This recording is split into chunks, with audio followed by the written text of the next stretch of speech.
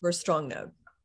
Well, with, with you know, I think as long as we are in this, we're experiencing a lot of the macroeconomic environments of supply chain, um, you know, it being slow as well as COVID and the economy kind of coming to a halt.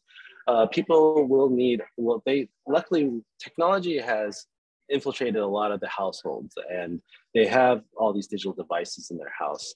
Uh, I'm sure around you, you have at least two and a half digital devices around you at any given time.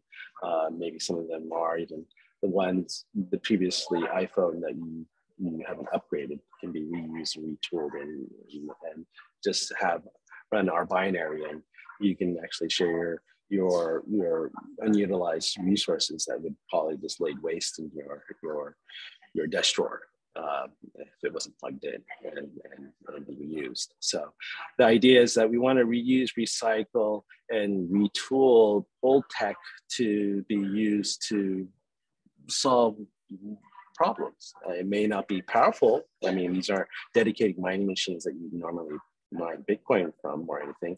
But if anything, this these this is just just just steady income that could come in that is can supplement your internet bill.